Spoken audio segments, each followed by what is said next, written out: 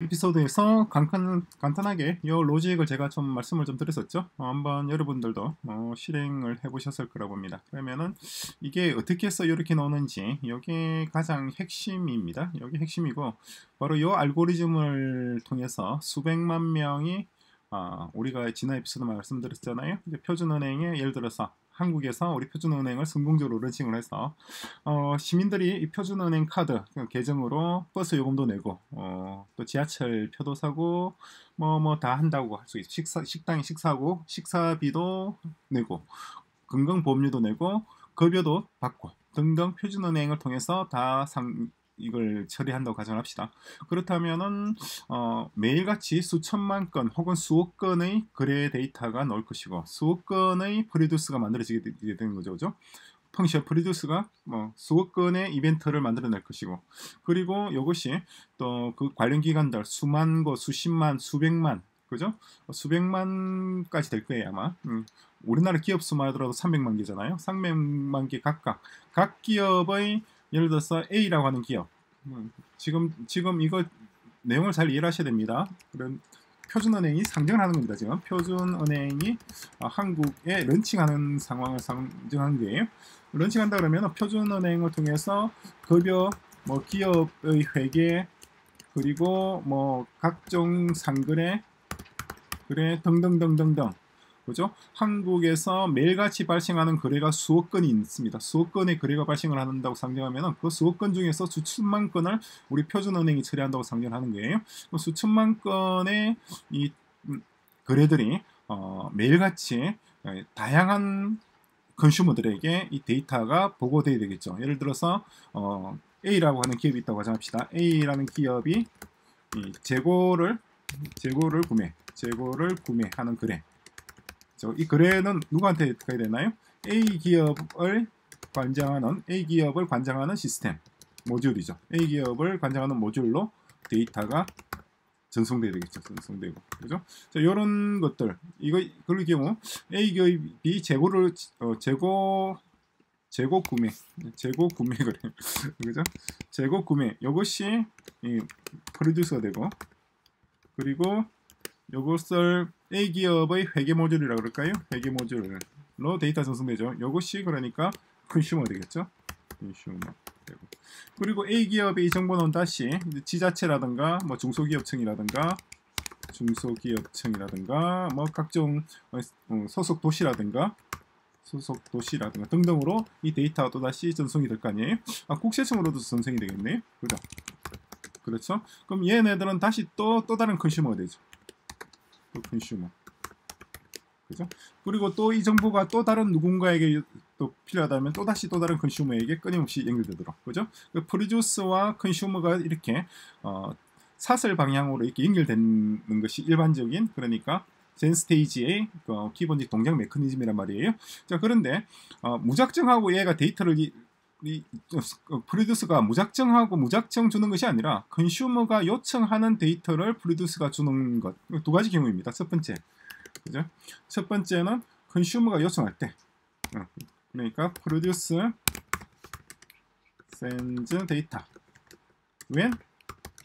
Only when이라고 할까요? only when consumer asks. 요청할 때인 뭐, 경우 있고. 두 번째는 어, 그냥 컨슈머와 상관없이 프로듀스가 sends data 그러니까 when data available 그 데이터가 유용할 때 이거는 그냥 이걸 무슨 서비스라고 그러나요? push 서비스라고 그럴까요? push 서비스 같은 거예요 그죠? 일방향 일방향적으로 그냥 어, notification notification이라든가 push 서비스 이런 경우고 지금 이제 첫 번째 우리가 지금 보는 이 예제는 첫 번째 경우에 해당되는 겁니다. 그죠? 어, 컨슈머가 요청할 때 데이터를 보내는 거예요. 얘가 얘가 요청할 때 얘를 보내 데이터를 보내주는 거고 그리고 국세청이 요청을 할 때 각 기업들이 자기의 거래 정보를 보내주는 방식이 되는 거죠. 그럼 국세청은 어, 어떤 식으로 그러면은 기업들 국세청이 우리나라 국세청에 그, 어, 저기 등록되어 있는 기업들이 예를 들어서 300만 개가 있다고 가정합시다. 이 300, 300만 개 기업들에게 국세청이 어, 어떤 식으로 데이터를 요청할 것인가 요청하는 거예요. 그럼 국세청의 서버도 어, 자원이 한정적이죠. 그죠? 국세청 서버 자원이 감당할 수 있는 범위 내에서 데이터를 요청할 거 아니에요. 그죠? 국세청은 국세청은 자신이 처리할 수 있는 범위 내에서 어, 그러니까 기업들에게 기업들에게 데이터를 요청합니다. 그죠? 기업들 순 1번부터 300만 번까지 순번을 정해놓고 그 순번에 따라서 어 1번부터 만 번까지 데이터를 보내라. 만 번부터 뭐 2만 번까지 보내라. 이렇게 이렇게 전송 요청을 하면은 그럼 각 기업들은 자신들의 어, 그동안의 어떤 영업 활동을 기록한 세무 보고서죠. 세무 보고서를 tax report라고 얘기를 해요. tax report를 어, 국세청 모듈로 보내주게 되는 거죠. 이해되시죠? 자, 이런 식으로 처리가 되는 겁니다. 그렇다면은 어, 어떤 메커니즘에 의해서 국세청은 기업들에게 어, 데이터를 요청하는 것인가? 그것이 이제 min demand와 max demand의 메커니즘입니다. 아, 무슨 말씀인지 이해되시죠? 자, 그래서 보시면 이렇게 이렇게 나왔단 말이에요. 그러니까 지금 processing demand producer로 되어 있는데 processing 파트는 지금 이렇게 나오고 있잖아요. produ 처음에 demand 있죠. demand 여기 얘는 어디서 출력되느냐니까 이거예요. log info demand 부분이고 그다음에 produce 850 나온 부분 있죠. 얘는 어디서 나왔느냐니까 이 부분에서 나온 겁니다. produce 850 나왔죠. 그리고 processing 500 나왔죠. processing은 consumer 여기서 processing 500이 나온 겁니다. 그리고 2초 sleep하고 또 또 뭘 하고 뭘 하고 뭘 하고 하는 거예요. 그죠? 그래서 이것이 땅땅땅땅땅땅 진행되는 겁니다. 자 그러면 처음에 디폴트 값이 1000이고 그러니까 max demand max의 디폴트 값은 1000이에요. 그리고 어, min의 디폴트 값은 500입니다. 그죠? 자 그러면은 처음에 제일 먼저 여기 뭐예요? 여기 이제 José Valim님이 답변해 놓은 내용이 이 내용입니다. 이 내용 한번 천천히 보시면서 이해가 되셨나요? 이해가 되셨으면 다행인데 이것만 가지고 아마 이해가 잘 안 되셨을 거예요. 아, 이것만 가지고 뭔가 아, 이해가 될 듯도 한데 안 된다고 생각이 드실 겁니다. 그래서 제가 보완해서 말씀을 드릴게요. 일단 여러분들이 여기에 있는 이 내용은 봤다고 상정을 하고 다 읽어봤다고 상정을 하고 설명을 드리는 거예요. 혹시 안 읽어보셨으면 먼저 읽어보시고 여러분이 먼저 여기 있는 이 내용을 이해하려고 노력을 하셔야 돼요. 그런 다음에 어, 제 설명을 들으셔야 됩니다. 자, 해서 여기 제가 다시 그림을 그린 겁니다. 자, 제일 처음에 보죠. 제일 처음에 어, demand 1000 맞습니다. demand 1000은 누가 왔느냐니까 demand 1000이에요. 그러니까 어, demand 버퍼. 여기 이만큼을 여기 이만큼을 클라이언트 이게 클라이언트. 아, 색깔이 너무 빨갛네. 이만큼이 클라이언트고 아 consumer예요. consumer 영역이고 여기는 어, 프로듀스 영역입니다. 영역수로 나눴어요. 그래서 보시면은 demand가 이렇게 어, consumer도 demand가 이렇게 있고 그리고 어, 얘도 producer도 demand가 있어요. 그래서 demand에 대한 정보를 어, producer는 producer대로 관리하고 consumer는 consumer대로 관리를 하는 거예요. 위에 한 줄 더 넣을까요? 해서 지금 제가 설명드리는 게 GenStage의 핵심 알고리즘입니다. 젠 스테이지 핵심 알고리즘이고 아, 요거는 아, 참 어, 이런 제 입으로 말씀드리기 그렇지만은 전 세계에서 제가 아마 처음으로 설명하는 걸 거예요. 제가 이걸 알고 있는 사람들은 많겠죠 물론 어, 젠 스테이지를 만든 사람들은 저보다 훨씬 더 잘 이해를 하겠죠. 그런데 이걸 설명한 사람은 전 세계에서 아무도 없어요. 제가 처음일 것 같습니다. 어, 제가 인터넷을 다 뒤져봤는데 설명이 없어요. 제가 이 설명을 만들어냈습니다. 그래서 자 consumer도 demand를 가지고 그리고 producer도 demand를 가진다는 거예요. 이것도 제가 생각할 때 아마 이렇지 않을까 싶어요. 어, 이렇지 않으면은 이게 논리가 안 돼요. 그리고 어, producer는 버퍼라는 걸 가지고 있어요. 버퍼를 가지고 있고 demand 버퍼입니다. 그리고 consumer는 demand 밸런스라는 거 내부적으로 동작하는 거예요. 어, 하는 것이 있고 그다음에 어, 뭐 sent to consumer, by from producer라겠네. received from producer. 이게 좀 더 적절한 표현이다. 그죠? 그리고 자, 제일 먼저 consumer가 demand 1000을 만들고 그죠? demand 1000 디폴트 값이잖아요. 이 max 값입니다. 얘가 max 값이에요. max 어, 값이고 max 값을 producer에게 전달합니다. demand 1000을 전달해요. 그럼 producer가 1000을 받죠. 그죠? 그게 어디 갔나? 요거예요. demand 전달받은 겁니다. 어, 그죠? 자, 그래서 producer가 850개를 만듭니다. 850개를 이벤트를 만들어내죠. 어디? 여기서 만들어내요. 그죠? 850개 만들었어. 그래서 개수 레알을 보면은 850개죠. 그죠? 그래서 850개를 만들어서 consumer에게 전달합니다.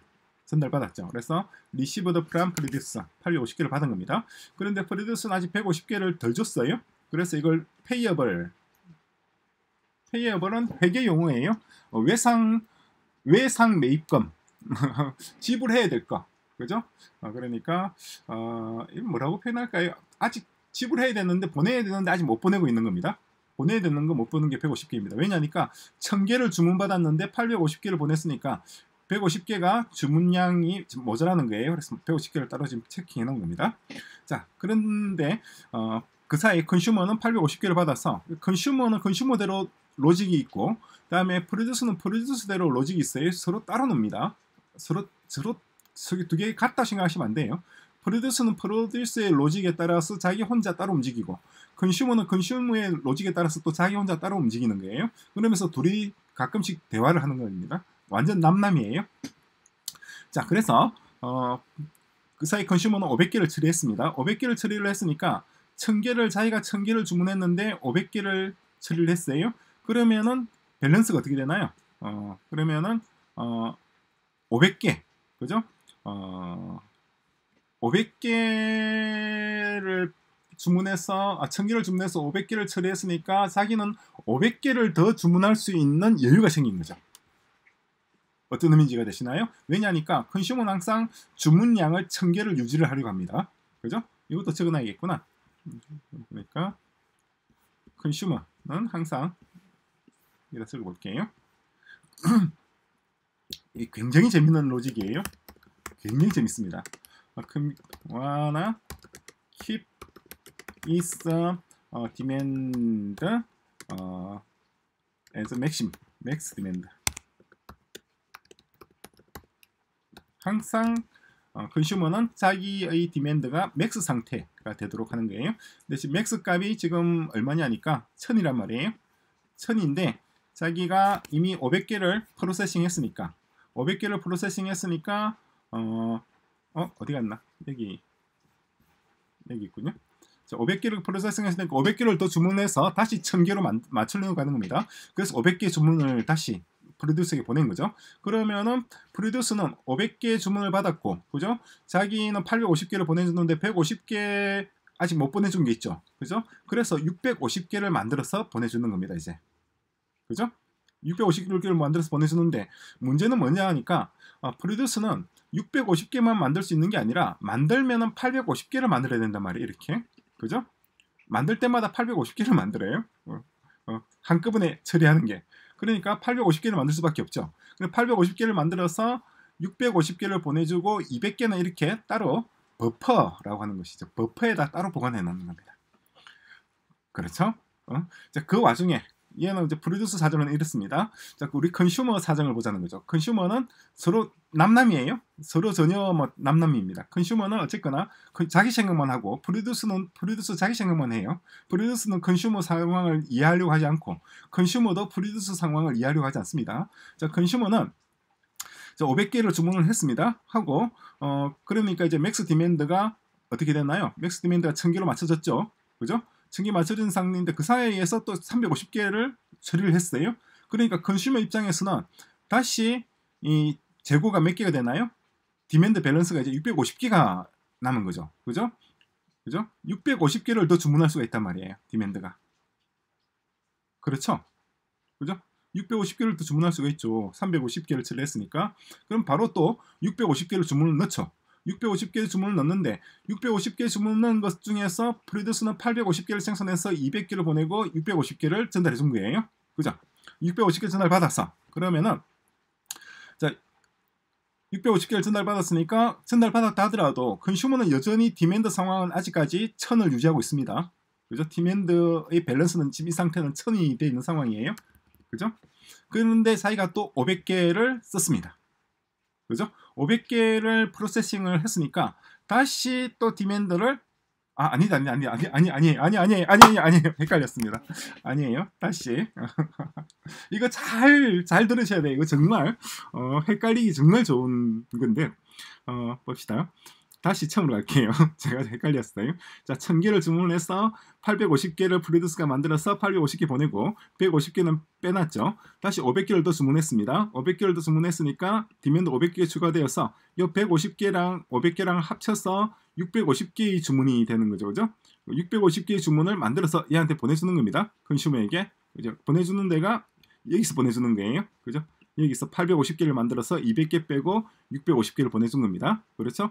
자, 그런데 consumer 입장을 보자는 거죠. consumer 입장에서는 처음에 1000개 주문했고, 그죠? 근데 500개 자기가 소진한 바람에 500개를 더 추가 주문해서 어, 추가 주문하는 바람에 이제 demand의 잔고는 1000이 된 거예요. 그죠? demand 잔고를 여기다 적을까요? 아, 다시 1000을 만들어 놓은 겁니다. 그죠?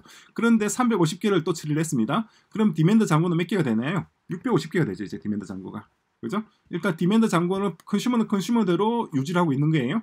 그리고 producer는 이 demand consumer의 demand 잔고는 관심이 없어요. 자기는 자기 것만 봅니다. 자기는 자기 1000개 받은 거 있고 그다음에 500개 받은 거 있고 총 합해서 1500개의 지금 잔고란 것만 얘는 생각할 뿐이지 얘는 전혀 신경 안 써요. 그죠? 자, 650개의 잔고가 지금 있는 겁니다. 650개인데 이 650개는 어 뭐예요? 어, 이 우리 처음에 consumer의 max demand가 디폴트가 1000이고 그리고 min이 500이었잖아요. 그죠? min 500보다 650이 더 많죠. 650이 더 많, min보다 더 많으면 새로운 재고 주문 그러니까 요청을 안 한다는 거예요. 그죠? 요청을 안 해요. 이, 이 상태에서는 요청 안 하고 단지 이제 넘어옵니다. 안 하고 넘어왔죠. 넘어와서 그런데 그 사이에 어, 브레두스가 850개를 중에서 200개는 키핑하고 650개를 보내셨잖아요. 650개를 보내줬으니까 또 500개를 처리를 합니다. 그죠? 500개를 처리를 했으니까 어떻게 되나요? 컨슈머 입장에서는 650개에서 500개를 처리를 했으니까 이제 컨슈머 잔고가 150개가 남게 된 거예요. 그죠? demand 잔고. 그 demand 잔고가 150개 남았으니까 어 얼른 다시 1000으로 맞춰야겠죠. 1000으로 맞추려면 어떻게 되나요? 850개의 demand를 새로 만들어야겠다는 알 수 있잖아요. 이 850개의 demand를 새로 만들어서 얘를 요청합니다. 누구한테? consumer한테 보내주는 겁니다. 그럼 consumer는 demand를 850개를 또 받는 거죠. 받았습니다. demand가 원래 850개가 날라온 거예요. 850개가 날라왔는데 이는 650개만 기록을 합니다. 왜냐니까 producer는 자기가 보니까 버퍼에 200개가 있더라는 거죠. 그죠? 200개가 있으니까 어 그럼 650개만 더 하면 되겠네. 라고 알 수가 있잖아요. 그죠? 그러니까 얘랑 얘랑 650을 합쳐서 그죠? 그런 다음에 850개가 되는 거 아니에요. 200개. demand 버퍼에 있는 걸 합쳐서 그죠? 그러면 이제 producer는 어차피 850개씩 생산하니까 그죠? 650개를 어, 다시 뭐예요? 얘한테 보내주는 거죠. 보내줍니다. 보내주면은 얘는 그 사이에 또다시 컨슈머는 또다시 500개를 또 가공을 해요. 그러면 또다시 150개로 내려가게 되죠. 그러니까 아, 저 이거 말하다 보면 말이 막 꼬여버리는데 자, 순서가 이렇게 되어 있습니다. 보시면은 1번이고 얘가 2번이에요. 제 그림을 잘 보시기 바랍니다. 그림을 잘 보시고 그리고 이게 3번 돼 있고 4번 되어 있고 이게 5번 돼 있잖아요.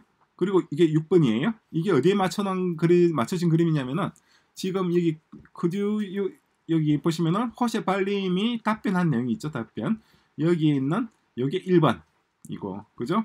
이만큼이 2번에 대한 설명이고 다음에 요만큼이 3번에 대한 설명이고 요만큼이 4번에 대한 설명이고 5번에 대한 설명이고 6번에 대한 설명이죠. 그죠?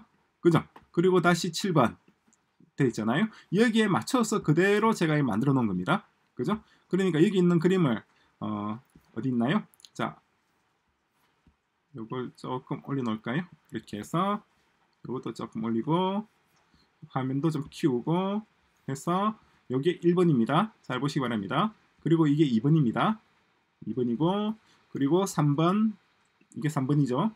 4번 5번 6번 7번은 무한 반복 7번은 다시 5번으로 다시 반복되는 거예요. 그죠? 그래서 여기 있는 밸런서 여기 제가 지금 설명해 놓은 요약해 놓은 것과 그리고 호세 발림의 설명과 그리고 주의해야 될 점은 한 가지입니다. 뭐, 만 주의하시면 되냐니까 consumer는 consumer대로 자기가 demand를 관리해 나가고 있고 demand 수치 이 자기가 보는 demand에 따라서 주문을 넣는 겁니다. producer는 producer대로 또 자기의 demand 그러니까 consumer로부터 받은 demand 있잖아요. 여기에 따라서 producer는 동작하는 겁니다. 자기 뭘 생산해서 보낼 것인지 얼마나 생산해서 보낼 것인지 결정하는 것이고 그리고 버퍼가 있다는 거죠. producer는 버퍼. 그죠? 데이터 생산량과 consumer가 요청하는 양 사이에 불일치가 있을 경우 그때는 버퍼에다가 그 불일치 되는 부분을 잠정적으로 보관한다는 거죠. 그죠? 이세 가지 논리입니다.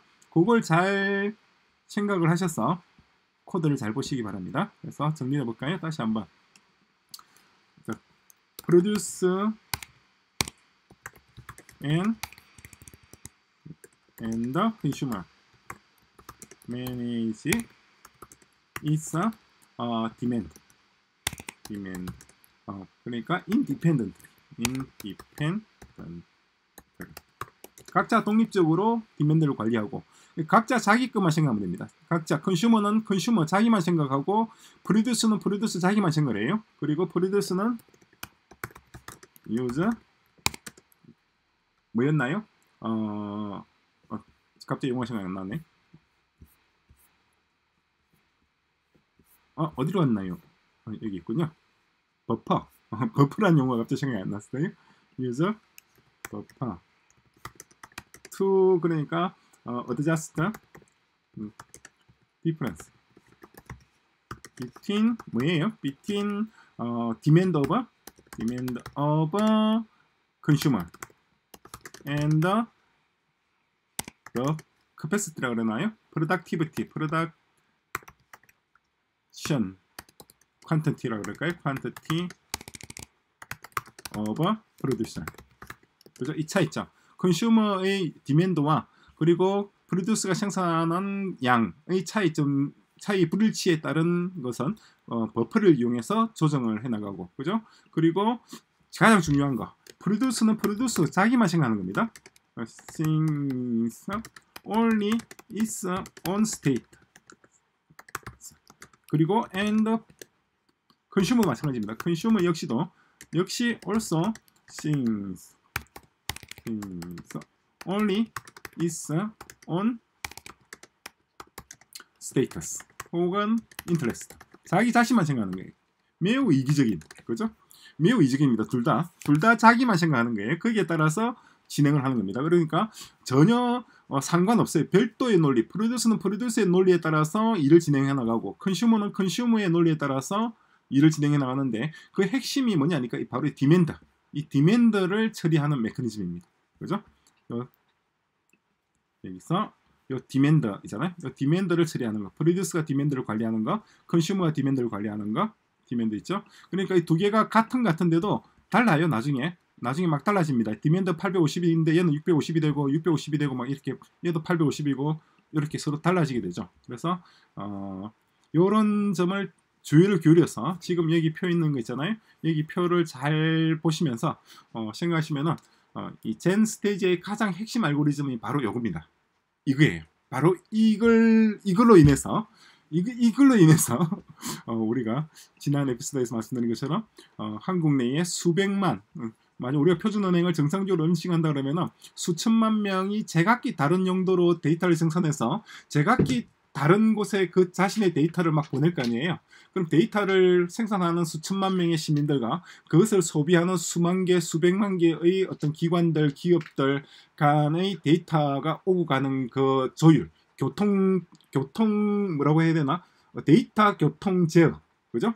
데이터 트래픽 컨트롤이 이루어지는 메커니즘, 핵심 메커니즘이 바로 여기 있는 이 부분입니다. 그러니까 요 GenStage예요. 이게 완전히 이해될 때까지 어, 충분히 천천히 숙고하시고 도저히 이해가 안 된다는 부분이 있으면 질문을 남겨주시기 바랍니다.